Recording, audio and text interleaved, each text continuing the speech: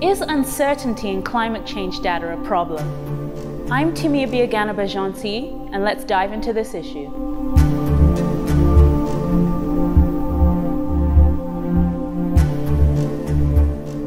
The concern is very real that the measurement systems for human-induced climate change just doesn't cut it. How do we determine these emissions in the first place? The most commonly used method, particularly for fossil fuel usage, is the statistical activity data method, which is based on calculating emissions.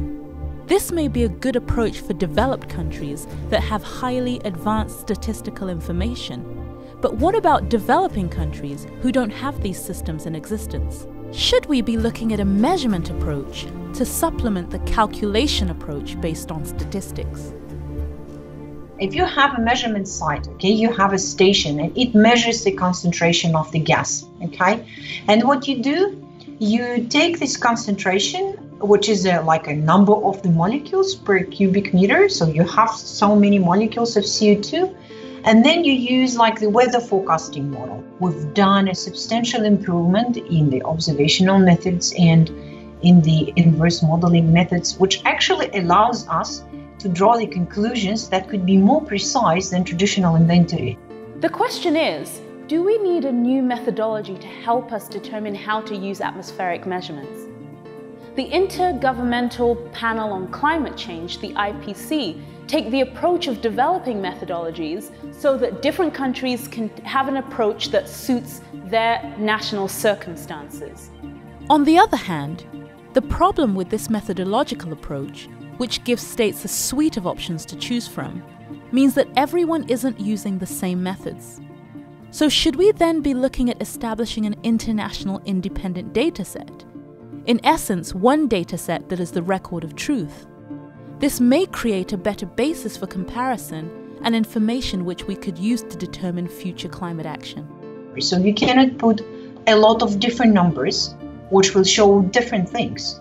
So, we we, we have to agree if we accept something else in addition to the traditional reporting that this something else should be accepted as an international standard and then everybody have to follow that international standard the european commission are currently working on a massive global carbon observing system this would integrate satellite data with in situ observations as well as statistical data that come from inventories.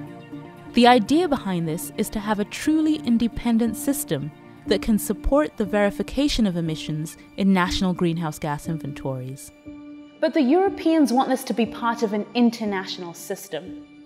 This led to the New Delhi Declaration, which is an agreement between 60 agencies led by France that seeks to get agreement about having this international independent system one, one of the message of the New Delhi Declaration was we have to work all together. Uh, space agencies to provide the satellites and the good instruments, uh, and also the scientific community through research programs in order to be able to extract from this measure from the measurements of these satellites and in these instruments uh, um, the, the good signal, the signal which is interesting. So we've talked about the science, we've talked about the methods, we've talked about the data that comes from satellites. But if the trend is now towards integrated data, coming from satellites, coming from different sensors, coming from the ground, we inevitably run into questions of big data.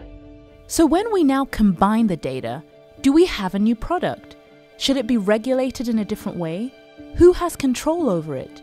What are the biases that may exist as a result of integration? And what are the security implications of an open data policy? But right now, we're so caught up on the technical dimensions of this integrated data future that we're not having serious discussions of these wider governance and legal concerns.